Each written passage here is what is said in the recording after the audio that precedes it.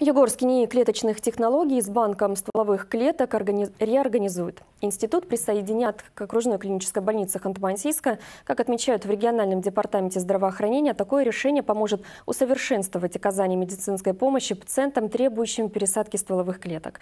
Как изменения повлияют на работу специалистов, узнавала Татьяна Тюкмаева. Вот вы можете посмотреть здесь э, температура хранения минус 196 градусов по Цельсию. Там у нас жидкий азот. И вот здесь хранится наш трансплантат пациентов. Срок хранения гемопоэтических стволовых клеток не ограничен. Они используются для лечения лейкозов и после химиотерапии. Сегодня в Криобанке института находится аутологичный трансплантат более 50 пациентов. Есть стволовые клетки и первого пациента. Трансплантация успешно проведена 10 лет назад. Мы сейчас находимся в лаборатории гематологии. Э, данная лаборатория вот, с помощью микроскопии и проточной цитометрии оценивает э, качество проведения э, трансплантации. То есть количественная оценка клеток в трансплантационном материале далее. Э, кроме того, еще э, в культуральной лаборатории проводится оценка их функционального состояния, то есть насколько они способны восстановить кроветворение после высокодозной химиотерапии. Специалисты института активно ведут научную работу. На их счету несколько диссертаций и более 30 публикаций в специализированных журналах. Для заморозки клеток используется собственная запатентованная программа.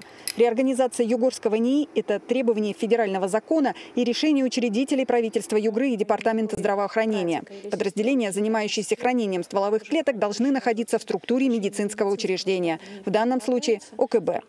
Сооружение, место хранения гемопоэтических стволовых клеток а, остается на своей своих местах. Меняется только наименование учреждений и появляется в окружной клинической больнице структура, структурное подразделение, которое будет заниматься хранением, типированием, хранением, подбором этих гемопоэтических стволовых клеток.